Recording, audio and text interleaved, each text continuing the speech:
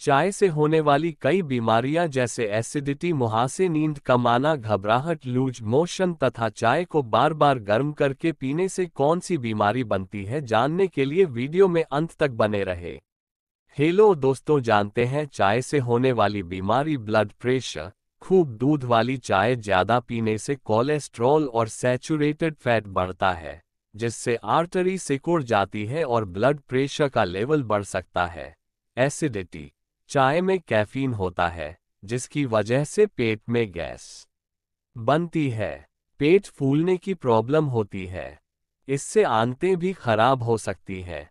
कुछ भी पचाना मुश्किल हो जाता है। मुहासे चाय की आदत हार्मोन का बैलेंस गड़बड़ कर देती है। इससे एकने यानी मुहासे और पिंपल जैसी समस्या होने लगती है। नींद कम आना, कैफीन की वजह से नींद पूरी नहीं होती।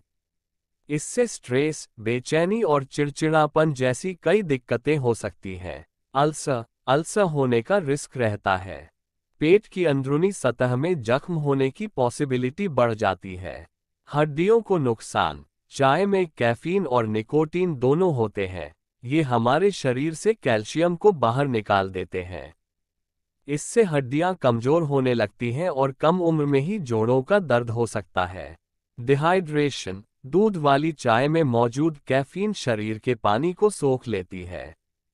इस वजह से पानी की कमी शरीर में होने लगती है। घबराहट चाय में टैनिन पाया जाता है। इसकी वजह से कई बार बहुत चाय घबराहट की वजह भी बन जाती है।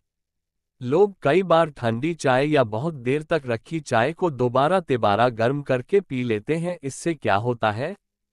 बार बार चाय गर्म करने से इसमें बैक्टीरिया बढ़ जाती है जो शरीर के लिए अच्छा नहीं है, बीमारी बनाने का काम करती है। चाय के तुरंत बाद पानी पीने के लिए मना किया जाता है, इससे भी कोई हेल्थ इश्यू होता है। गर्म चाय के साथ पानी पीने से या ठंडी चीज़ों का इस्तेमाल करने से कई बीमारी बन सकती है। गर्म ठंडा एक साथ ना इस्तेमाल करें। दोनों पर मिश्रण से होने वाली बीमारी, इंडाइजेशन अलूज मोशन, सर्दी, जुकाम गले में खराश, नाक से ब्लीडिंग दांतों में सड़न, पीलापन सेंसिटिविटी कुछ लोग एक ही चाय पत्ती को बार बार उबालकर पीते हैं, एक ही पत्ती को बार बार उबालकर पीना और भी नुकसान पहुँचा सकता है। एक ही चाय पत्ती को बार बार पकाकर बनी चाय पीने से शरीर पर धीमे जहर जैसा असर होता है।